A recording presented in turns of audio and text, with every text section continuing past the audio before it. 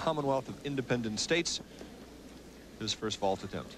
This is a handspring double front. He's one of the few people in the world that'll go for it.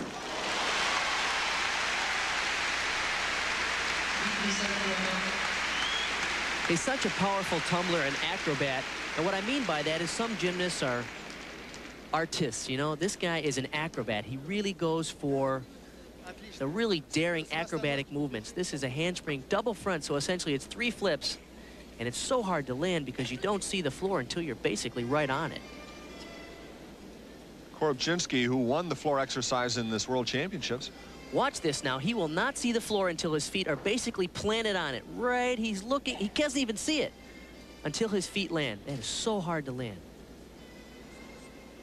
When Korobchinsky won the floor exercise, it was not the Soviet flag or even the Ukrainian flag that flew, but rather it was the banner of the International Gymnastics Federation, under which all the Commonwealth athletes are competing here. Even the anthem belonged to the Federation. Korobchinsky's first vault scores a 9.650. Our leader once again is Yoo Ok-ryul from South Korea. 9.675 is his average over two vaults.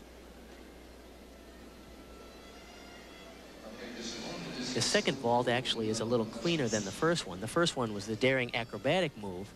The second vault looks a little nicer in the air and his form is very clean. If he can stick it, there's a big score waiting for him.